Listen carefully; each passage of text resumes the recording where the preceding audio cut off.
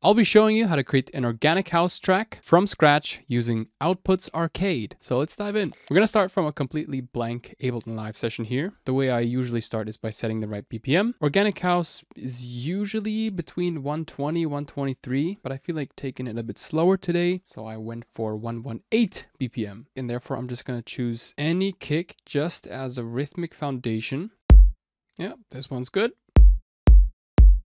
Fair enough. Let's assume that you're not really feeling that inspired and you don't know into what direction you want to take your track into. So you can either decide, do I want to go into the melody area right now or into the drum area? And since I do feel like programming drums now, that's exactly what we're going to do. Then load up Arcade into a new MIDI track over here. I have a low cut set by default, so we don't get any low end just yet. So now I'm going to look for a line or a library that contains drums. And I can either search over here, let's say drums, and then it'll give me a variety of different so-called samplers, instruments, and samples that are relevant to drums. You have a variety of different keywords here that you can also choose from, but a feature that I really love over here is this lines tab. So this is basically how Arcade sorts their sounds, and you have these libraries contained in here. One of my favorite ones all time is this distant voices one, but we'll get back to that in a second. Remember, we're looking for drums. So you can just scroll through this lines tab until you find either an image or a description that you really like, and you can just choose one. So, oh, okay, hi-hats instead of hi-hats. Let's load this one in here. So let's click this guy in here, go to line page, and for this specific line, you get to choose between samplers and samples. And even within a line over here, you get to choose different types of keywords. So you can filter those lines down. But instead of hi-hats is honestly also a really great library if you just want to get a hi-hat groove going that doesn't sound so static and normal. So that's what we're going to do here. Let's double click. So we create a MIDI clip and then we can preview through the samplers here. There's so many usable snippets in that loop already. We can continue.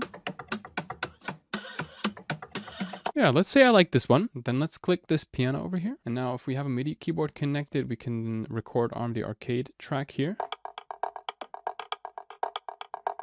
And it automatically syncs up with the session tempo, which is 118 BPM. And we could, if we'd like to, even choose a key. Let's say, I don't know, A minor, sure. Let's lock it to that key by clicking A minor. Since this is a non-tonal sound, it won't matter as much.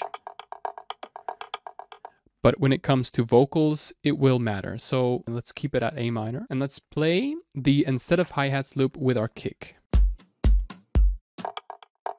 Kind of like this one here. Continue to scroll. Yeah, this one contains a bit more of a groove with some claps in between. Highlight, and then we can take another snippet and layer those two on top.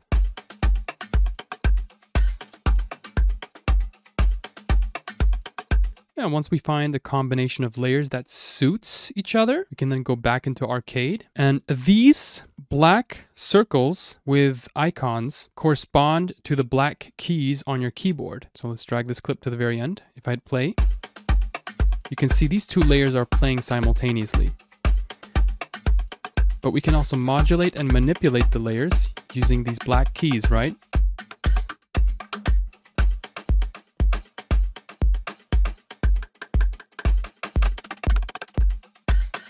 Now that's where you come up with your unique sounds. And let's say we want to draw in these black keys every now and then so we have a loop that sounds various, that has, has more variety in it.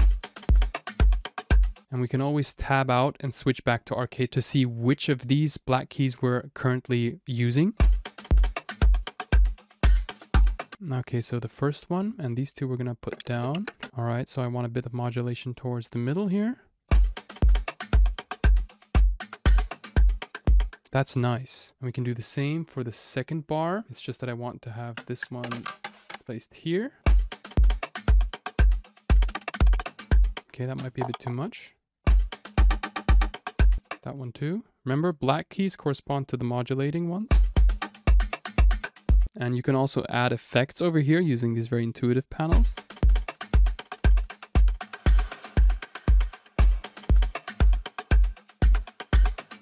Small room reverb always works well on hi-hats and those perky, glitchy sounds.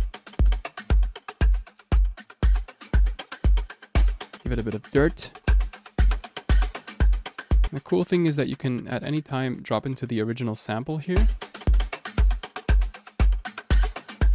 Maybe shift the attack, the release. But I'm pretty happy with the sound, so I'm not going to do too much here. And after I get a sound that I'm pretty happy with, like right now, can always create a new audio track and resample that audio from here into that specific track. So that's exactly what I'm going to do I'm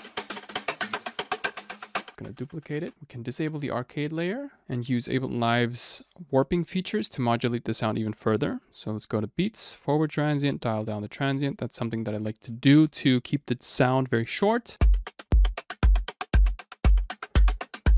Nice. By the way, you can use the link down below to get 50% off your first month of Arcade after a 30-day free trial. So check it out. Back to the groove here. Let's add some auto pan.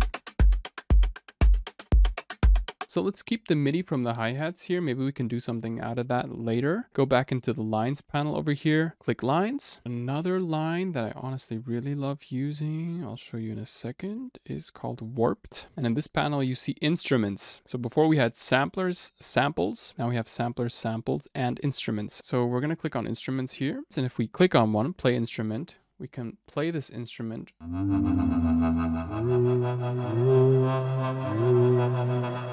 So it isn't playing samples, it's now playing like a synth. So you also get these integrated synths. And these are all included in lines. So lines are like the primary category and samplers, instruments, and samples are the subcategories of those lines. And you can also read what each and every line gives you. This one gives me pads, textures, and rhythms. But honestly, I want to go back into the samplers panel for now and preview a couple of these sounds here.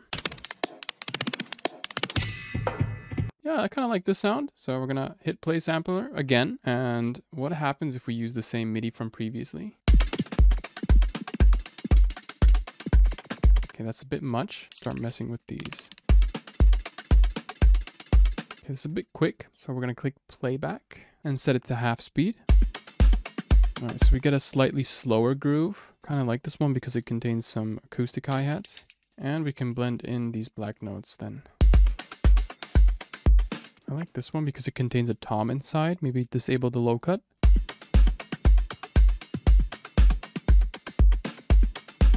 Nice. Let's add this one here. Create a new audio track. Solo this guy. Resampling. Record arm and record.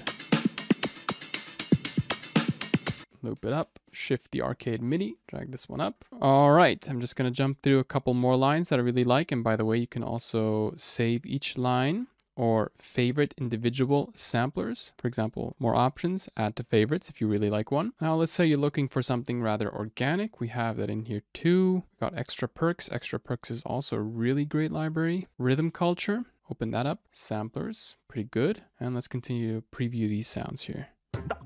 Now I don't have every single one of these loaded on my PC, so I could just download a sampler that I really like. For example, seven congas, eight bongos, sounds good. It's gonna take a second to download here, and there you go. Then you already have this sampler on your PC. If you hit on this device, it'll show you every single one of these devices that's already downloaded. And we're just gonna play this one. Let's go for something more conga-ish. And let's add a few of these black notes for modulation in between. Also got some shakers here and some clave, which can be awesome for organic house. There we go. Sounds a bit more organic now. Yeah, just reduce the velocity a bit as well. Guess we don't need these.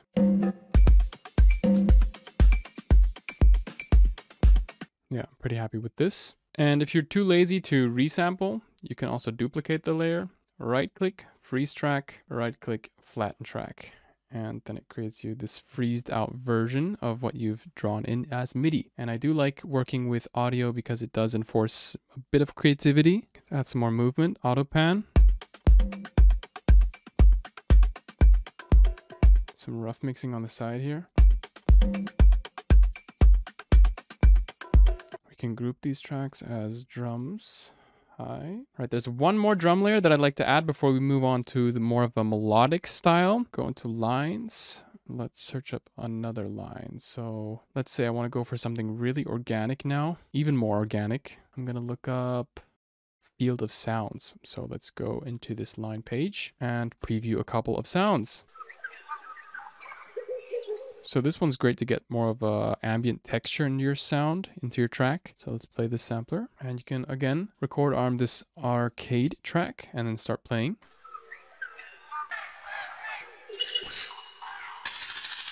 Get so many samples that sound really textural and ambient. Interesting. Change these tones here. Some delay. Whoa, trippy. Kind of like dub right now.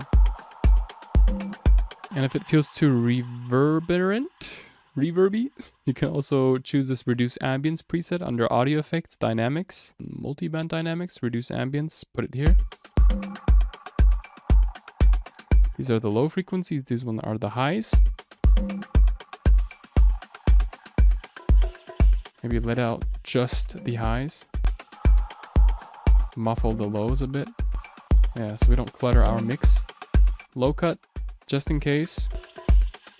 Already looks good. Let's give it a slight high boost. All right, let's move on to the melodics. Duplicate the arcade layer, right click, freeze track, flatten track. Nice. We can now delete these effects here, drag the MIDI along. So we still keep the MIDI, but we've resampled the audio from previously. So we stay in that creative state and also save CPU. So again, I could go into the search panel and search up voice. It'll give me basically everything that's associated with the word voice. Or I could type in chords and it'll give me more lines, aka samplers that are associated with the word chords. And you can also dial that down even further by choosing a tag. So I could also delete this and just keep it with the tag. It'll also basically filter the same way. So you can also get inspired by these individual little tags. Let's say we want to go for something more atmospheric and type in pad. So I'm looking for an atmospheric pad and already we see so many different types of samplers. And then we could continue scrolling, continue scrolling, and it just never ends. But I do know that I have a line that I prefer for using pads, which is called Aura. Aura. Now I'm just going to go into the lines page over here, stick with samplers, and now let's search. Let's play this one. Interesting. Play sampler.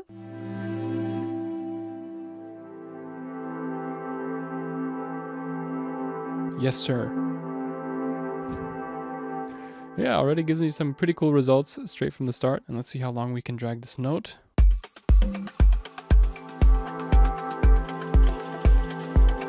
That's Organic House there. Nice.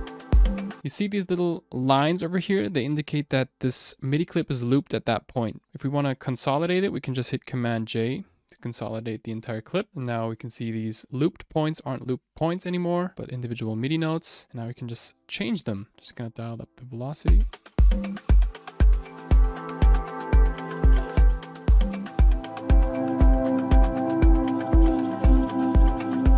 See all of these notes are locked to A minor. We set that previously. You could also change the key here and it perfectly pitches the key.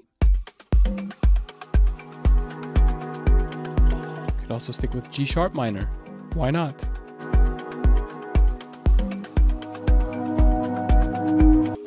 Just messing around. Maybe add a few little modulators. So these black notes in between so we get a more inconsistent sound. Again, just testing around, experimenting.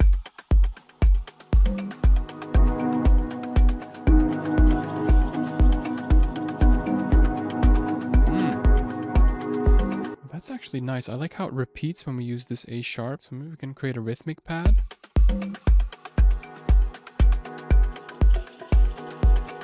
might be a bit too much though, so style it back. Maybe just in this little section at the end of every bar. Maybe change this one here.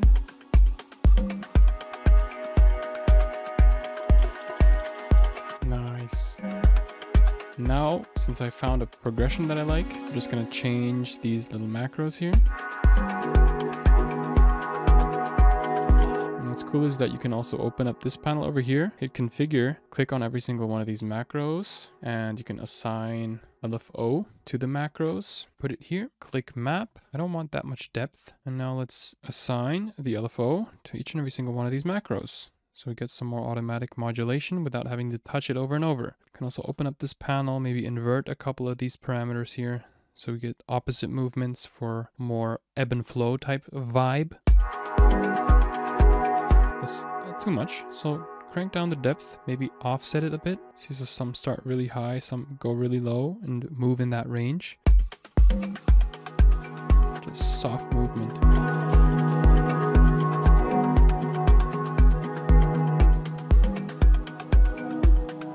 Now we can load up an EQ here so we don't get that much low end mud. Maybe emphasize the highs a bit more. You can also add a reverb, reverb before the EQ.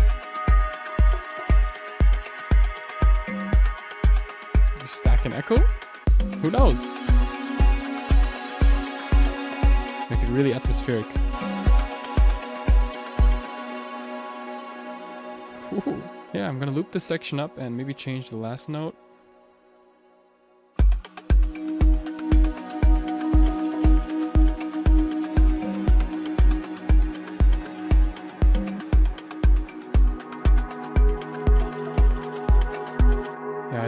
Usually load up reverb and echo next to each other, especially not on an insert track, but hey, I'm just going with a sound designy approach today, so that's fine. So we have a nice vibe, nice track going.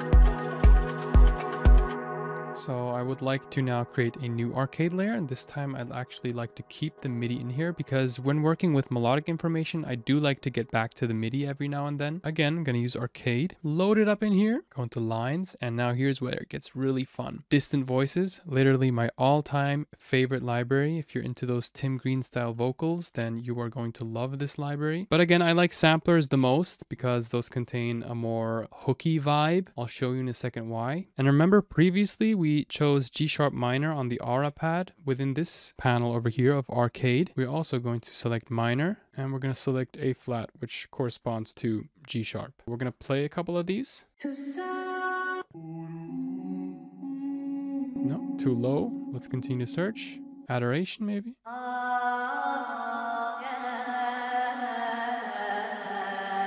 Oh, yeah. Oh, I like those Egyptian vibes here. Why not? Let's go for it. And see how they correspond and play together with the pads. Pads and vocals need to align. So again, I'm going to create an entire clip, consolidate that one.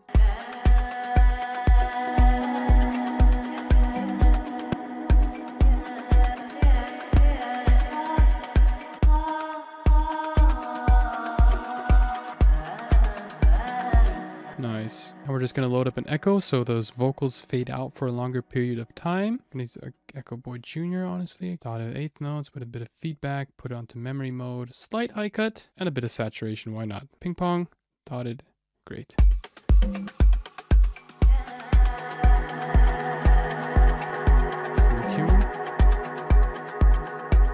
Pull it to the background.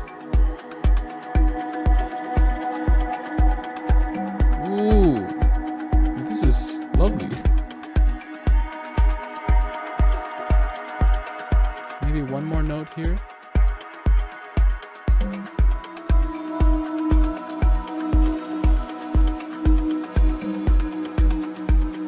And the list goes on forever. So I could create a new track with another arcade layer. And also what I love about Arcade is that it's regularly updated. You can also check the home panel to see what's new over here and just scroll through what's recommended. You see vocals, chill vibes, melody writing, and it's pretty flexible for many different genres. I've used it for melodic techno previously. You see I'm working more in an organic house direction, so it's very fitting there. Patterns, for example, let's load that one up into samplers. Just make sure you're on this right key, A flat minor, and let's play a couple of these.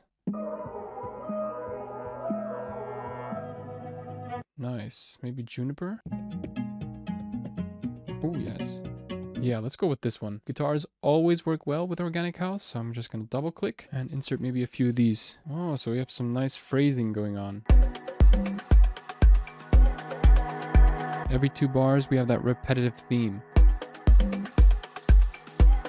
Oh, I like the shaker. Nice. Yeah, it's pretty cool. In between these lines, you get melodic information as well as drum information. And just by drawing in your MIDI, you come up with ideas that you otherwise wouldn't have come up with.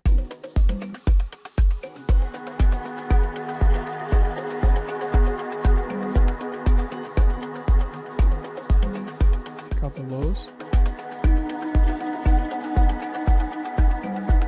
Add a bit more panning, especially because of the shaker on, on the sides.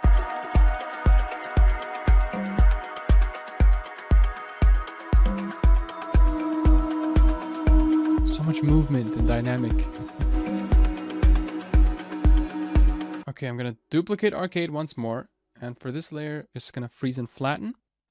Flatten, so we get that resample into this layer. Isn't that just interesting? And a feature that I really love about Arcade is that you can also import your own samples. So you're not necessarily limited to the lines and samplers, instruments that come with Arcade. Let's say you'd like to create your own tom groove. So you can just drag and drop your samples into Arcade. It'll give you this message over here, one new sample linked from your machine. There it is. Disable EQ. Nice. And from this sample, we can now generate a sampler to make it a bit more unique and mangle it more. And it always comes with these effects presets. And if you don't want them, just make sure to disable them. You have these different sample slicing algorithms. We're just to go with standard for now. Record arm the track that we are currently playing. Got ourselves a new tom groove and you can layer that with the other samples. Modulate them using these black notes.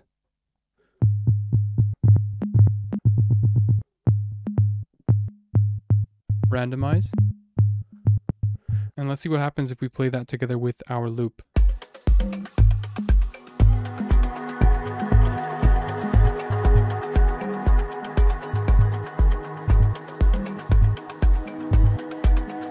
Yeah, the creative possibilities with this thing are pretty much endless and that's really why I love using it so frequently. Just gonna hit save and play since I do like it and it'll give me this really nice custom kit and I can access my custom kit anytime via your stuff custom. You can also see all the samples that you've imported. You can favorite individual sounds, libraries, instruments, etc. We're to play the tom for now, since toms are very usual to have in Organic House. Nice.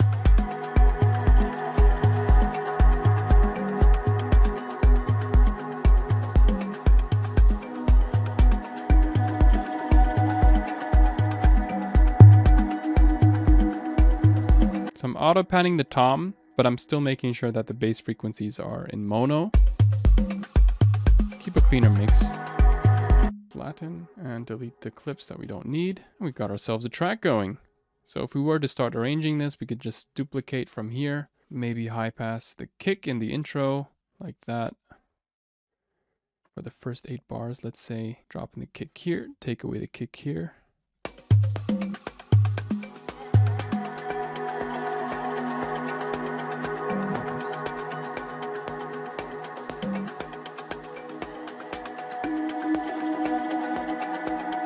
Quick automation.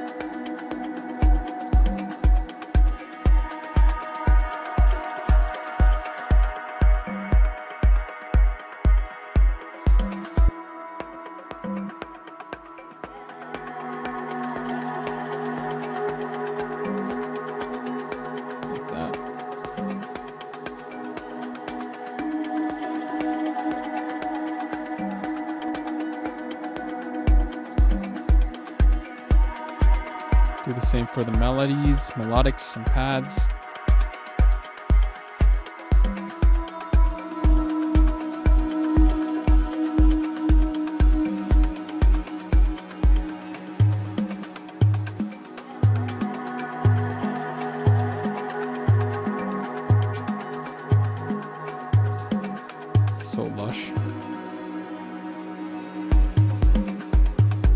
There's one thing that I feel like is still missing is a transition sound and Arcade does cover those as well. So let's go into lines, search up stitch. So we're basically gonna stitch our build with our drop samplers, bright risers, or maybe effects.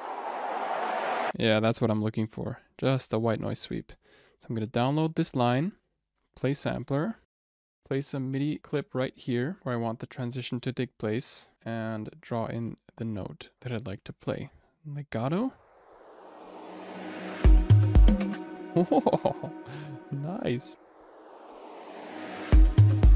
Nice. Let's add a bit of echo to make it fade into the drop. I like that one though. Maybe we could pull it up a bit longer. Take it, legato, and echo. Let's use echo, not echo boy this time.